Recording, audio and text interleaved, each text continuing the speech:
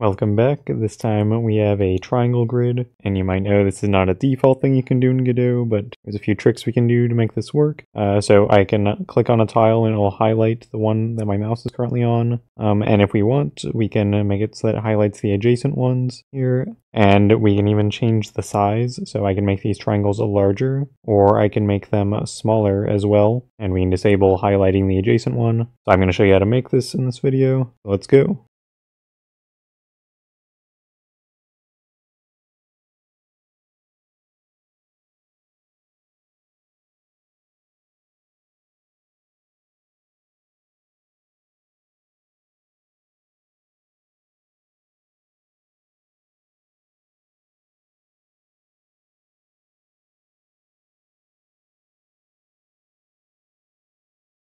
The main trick to how this works is that we use a tile map and we use a hex grid. We're able to use that to easily do the math for us. So let's go ahead and add this in and we can import our tile map. All right, I've imported the hex grid, so the standard asset that I've used in my other projects as well. We want to switch our grid to be hexagon. We can go ahead and import this. Make sure you're in the tile set tab and we can import this. Go ahead and create that. Let's go ahead and set the dimensions here. So this is just for my asset. If you're using a different one, it'll be slightly different. We can put this as 9, 8, 18 your dimensions might be different. My texture resolution is a 110 by a 94, and I will delete these ones I don't want. Now let's adjust the settings for this tile set. So we want hexagon, diamond right, and we can leave on a horizontal offset. The size, I'm going to make 94 by 94. So here's the main way that the triangle grid works. So as example, I will draw in some hexagons. You can see this happens to make a perfect equilateral triangle. Adding these on, we have some more equilateral triangles. So we use the geometry that's worked out automatically by the hex grid, and we can just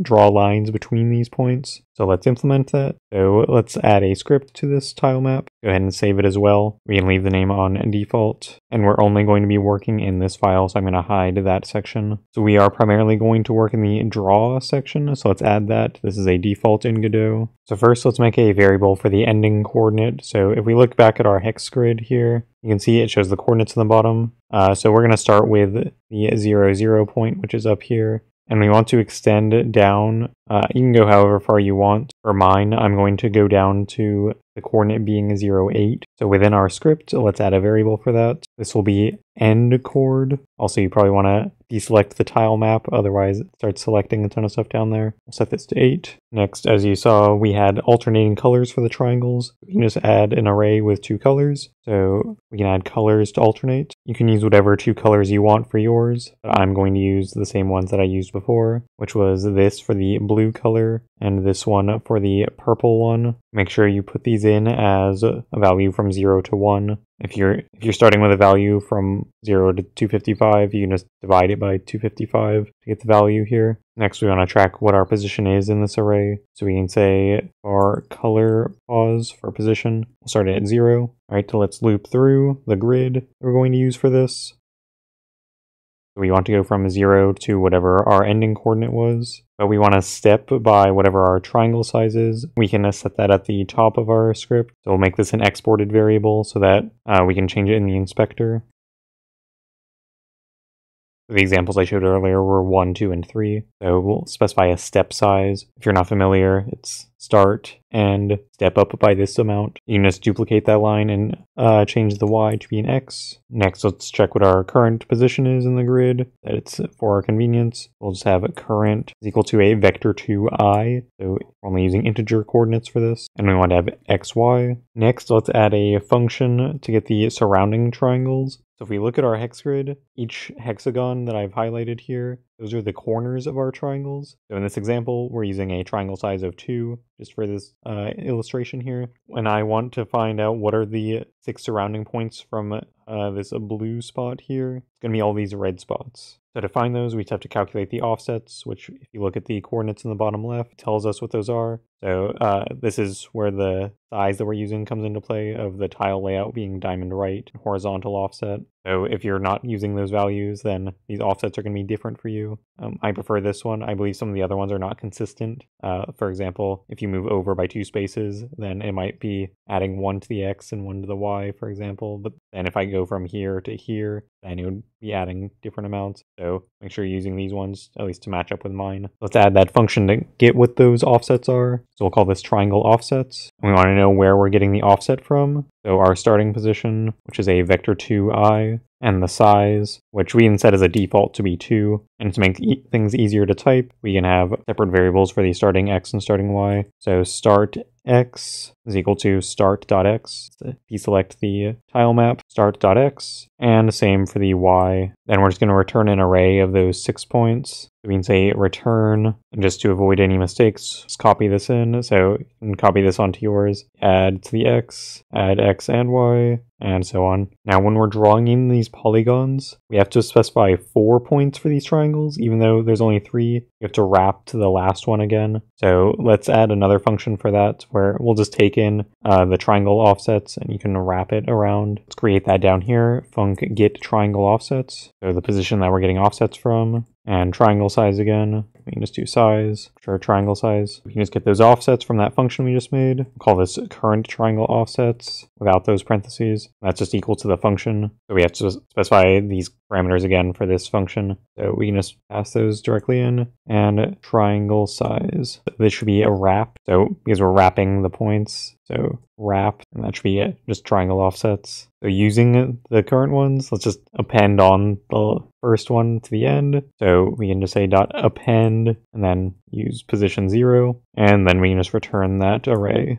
So let's copy this function name and back down here where we have the double for loop. Let's say our current triangle offsets, and it's for our current position and whatever triangle size is specified at the top. Now we're going to loop through these offsets. So in the example again, we're going to draw here to here, there, and there. And we'll just do that all the way around this point. So we'll go for i in range. So we want to get the length of these triangle offsets, but we don't want to go to the last one because then we'd have to wrap back around. We'll just do the length of minus one. Remember, this returns those six points around us, so we're going to look at pairs at a time. That's how we'll do this. So we'll just have it for point one is just the current triangle offsets at position i, and then duplicate that, and we can have point two i plus one. And so the three points that make up this triangle, so current points, well, it's just our current one, that's the center, and point one and point two. So we're going to end up attempting to draw stuff outside of the bounds that we don't want to draw. So regardless of if we draw that or not, let's go ahead and increment the color position. So we can say color pos equals, then do parentheses, color pos a plus one to wrap back around. So first we're at this position, then this one, then to go back to the beginning. We use modulo to get to the remainder. We don't just want to do the len of colors to alternate. Now to get that nice triangle shape that I showed earlier, we don't want to draw like on the whole map. Instead, we want to make sure this shape that we're trying to draw is inside those bounds that we want to actually be inside of. So let's make a function for that. Above draw, let's say func is triangle in bounds. Then we can give it the points. And this is going to return a boolean. We'll say if points so because this is an array, we can say dot any, and then we pass in a function as a lambda. So we'll say take in a point, which is a vector 2i, and then return is point dot x greater than point dot y. If that's the case, that means we are outside of what we want to draw. So we look here at the coordinates in the bottom left, where x is greater than y, that's above where it's going to be drawn. We don't want to draw up there. We only want to draw in this region here, approximately. So if any of those points satisfy this condition, then we don't want to draw this triangle. So we'll return false, it's not in bounds. And we'll say if not all instead of any. And at the end, we'll change this to be x is greater than equal to 0 and y greater than or equal to 0. And we can just do this to make it cleaner. So this accounts for this instance up here, or we don't want to draw down here either. So in that case, they're not all within this, then we'll say return false. But if we pass those, then we can return true. There we go. Make sure the parenthesis lines up with this if statement. Get rid of these extra lines here. Let's copy that function. And at the bottom here, we can say if that point is not within the bounds that's our current points that we're using. And we can just continue. Like, there's no reason to draw this triangle. You might be wondering, oh wait, aren't we going from 0 to the ending coordinate? Well, that's technically true, but for the point 0, 0, for example, I'm going to attempt to draw the points that were up here, which are outside the bounds. That's why we add in those checks for being outside of the coordinates. So currently those points that we're looping over are the map coordinates, which means it's the actual hex grid coordinates like 0, 0, 4, 4, 2, 4. Uh, let's convert those to the actual local coordinates. So we use a map function for that. I guess it's, that's a confusing name. So we will say current points equals current points dot map, and we can provide a function. Uh, you could use a lambda here, but the built-in function that we want to use here is map to local, which they've double used the word map here, which is confusing. But uh, take out the extra parentheses here because you want the function name, not to actually call the function. So this map means apply to each element of the list, whereas this one is talking about the hexagon map. All so let's get the mouse position. So mouse pos is equal to, so we can get the global mouse position, but let's convert that to local. So to local then get global mouse position. Then for the current polygon that we're using, uh, that's what these points are, but we have to convert that to a vector 2. So let's do that. We can say current polygon equals packed vector 2 array, and then you can just pass in the current points, the current tile color that we're using. Remember, we're using that array from up top. So it's just colors to alternate. So equals colors to alternate at color pos, which was that variable from up here. Now let's add a keybind. So let's open our project settings,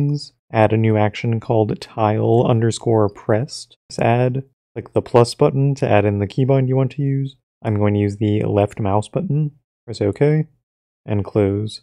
So let's check if we just press that. So if input uh, is action, uh, we want pressed, not just pressed, or else it will just show the color for one frame. We want tile pressed. If geometry 2D, so this is a built-in, let's just do geometry. Use this to easily check is point in polygon. So we want to check if our mouse position is inside of the current polygon that's made up of our triangles. So current polygon, if that's the case, then let's change the color. So the current tile color that we're going to use, in this case, this is the color that you want to change a tile to when your mouse clicks on it. Uh, I'm just going to do black for this example. We can say color dot black. All right, let's go below here. And we can to say to draw that colored polygon. So draw colored polygon. So the points, again, we want to use our current polygon and it's whatever the color is. So it's either going to be black or if not, then it's going to default to the checkerboard pattern color. So let's test if this works. There we go, seems to be working. We can leave these hexagons if we want. They're just for debugging though, so they don't really hurt. Uh, so you might notice this doesn't look quite as good as before, and it also appears that when I click, it does not change the color. So let's fix that. Currently, draw only runs when being told to update.